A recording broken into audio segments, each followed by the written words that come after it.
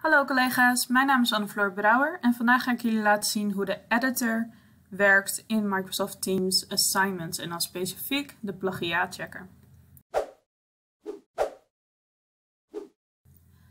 Hiervoor gaan we als eerst vanuit Teams natuurlijk naar Assignments of opdrachten. Dit is afhankelijk van de taal waarin je jouw Teams hebt staan. Dan zien we hier allemaal opdrachten Um, en vandaag gaan we er twee uitpakken om wat voorbeelden te hebben.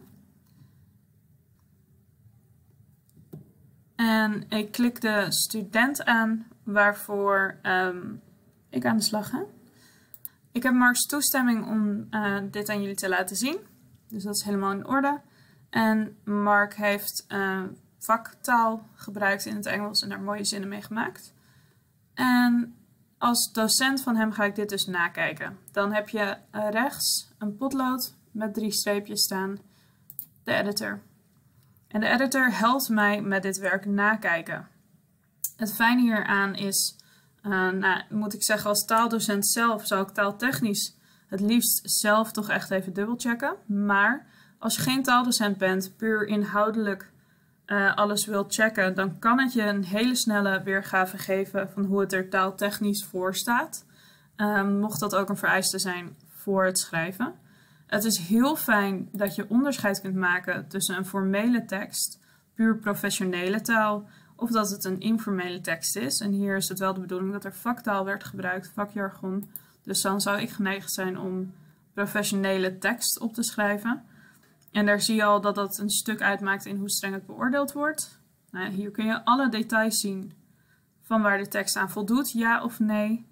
Um, zorg wel dat de taal hieronder ook goed ingesteld staat als hij hem niet automatisch zo goed heeft opgepakt. Maar als je dan een stukje naar beneden scrolt, staat hier onder het kopje similarity of gelijkenissen in het Nederlands. Um, staat hier check for similarity to online sources of in het Nederlands, zoek naar plagiaat. En dit is heel erg fijn, want dit scheelt gewoon een hoop werk. Hij checkt wel alleen met online materiaal, niet met andere um, materialen die al door andere studenten zijn ingeleverd. Dus dat moet je als docent wel nog even zelf doen. Maar dit scheelt al een hoop. En zo zie je dus, dit is uh, geheel uit Marks eigen hoofd geschreven. Oftewel 0% overeenkomsten met online materiaal. En verder zijn er dan nog handige dingen. Stel je wil bronnen checken, dan brengt het je direct naar bronnen, namen, dat soort punten. Um, Eén ongewoon woord, oftewel daar is één iets geks in gegaan. Of uh, Teams kent dat gewoon even niet. Nu laat ik ook een voorbeeld zien waarbij er wel uh, gekopieerd is van het internet. Dus dan ga je weer naar assignments. Daar was ik al, grapje. Dan ga ik naar een andere assignment, namelijk eentje die ik speciaal klaargezet heb voor deze tutorial. Renske is daar zo lief geweest om even plagiaat te plegen voor ons. Klik ik op Turned In, dan kan ik de opdracht zien die zij heeft ingeleverd. En dan ga ik dus weer naar het potlood met de drie blauwe streepjes, de editor. En dan kan ik taaltechnisch weer zien hoe het in elkaar zit. Nou, geweldig, 100%. Maar dan ga ik naar dit kopje en daar heb ik al eerder weer op Check for Similarities geklikt. Dan heeft hij berekend, dan gaat dit zo ronddraaien.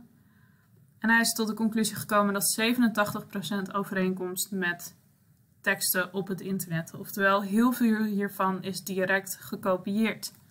Dit kan je als docent ontzettend veel tijd schelen. Um, en ik vind het een hele fijne toevoeging. En het scheelt echt bij het nakijken. Hopelijk heb je hier wat aan. Laat me weten of het bevalt, of je het gebruikt. En veel succes!